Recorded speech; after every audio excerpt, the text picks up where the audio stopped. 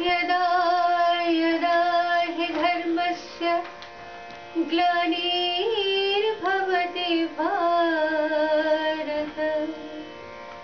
अभ्युत्थानमधर्मस्य तदात्मानं सृजाम्यह परित्राणाय